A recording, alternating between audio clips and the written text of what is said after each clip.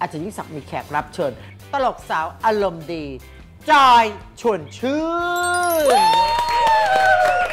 สวัสดีค่ะอาจารย์พ่อเขาบอกคิดถึงอาจารย์ด้วยนะเนี่ยไม่เอาเซ่เขาบอกว่าข้างบนเนี่ยนะทำกับข้าวไม่อร่อยเลย หากุ๊กดีๆเนี่ยที่พูดเก่งไอ้จอยเล่นแรงว่ะ ๆ ร้านนั้นนะเราเนี่ย วันนี้มาเจออาจารย์ยิ่งศักดิ์ มาถึงถึงอาจารย์ยิ่งศักดิ์ช อบไหม